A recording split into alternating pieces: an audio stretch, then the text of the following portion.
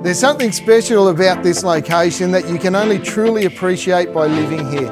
Holmes Crescent has always been a family favourite and number 7 won't disappoint. Beautifully presented with an updated kitchen and bathroom, plus you'll enjoy multiple living areas, four bedrooms, the study nook, the pool and a backyard studio, all on a gorgeous 897 square metres of land with a wonderful northerly aspect. I know you're going to love Seven Holmes Crescent.